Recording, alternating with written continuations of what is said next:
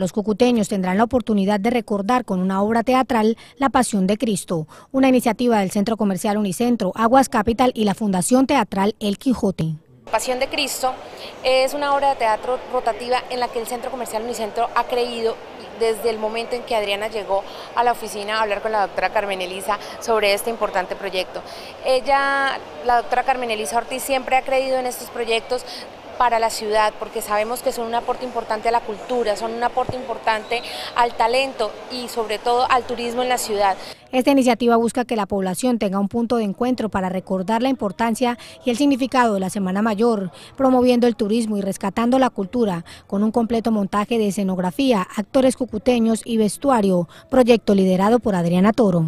Nosotros en nuestra responsabilidad social empresarial tenemos como meta apoyar estos proyectos que llevan a ese reforzamiento cultural que la ciudad necesita.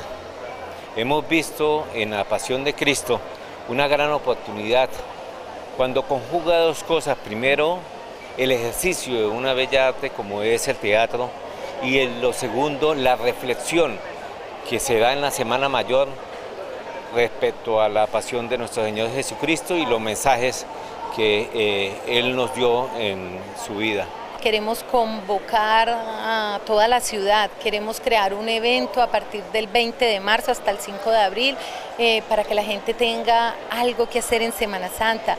Al mismo tiempo, pues darle la oportunidad a todos estos artistas que tenemos. Tenemos nosotros 70 actores, pero tenemos eh, entre nuestra gente más de 100 personas trabajando para la Pasión de Cristo.